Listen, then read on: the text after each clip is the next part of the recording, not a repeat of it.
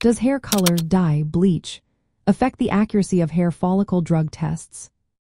Imagine sitting in a testing room, waiting for the results of a hair follicle drug test.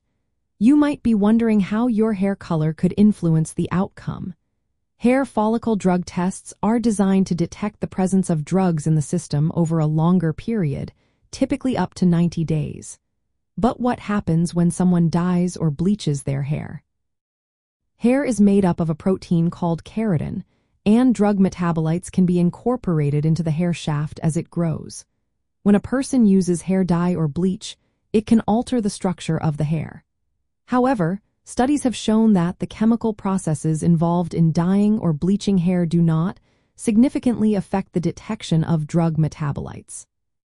The primary concern with hair color treatments is that they may affect the hair's physical properties, such as texture and strength, but they do not typically interfere with the ability to detect drugs. The testing process involves cutting a small sample of hair, usually from the scalp, and analyzing it in a laboratory setting. It is important to note that while hair treatments may not impact the test results, the timing of the drug use in relation to the hair growth cycle is critical. Hair grows at an average rate of about one half inch per month, so the portion of hair tested reflects drug use over the preceding months. In conclusion, while hair dye and bleach can change the appearance of hair, they do not generally affect the accuracy of hair follicle drug tests.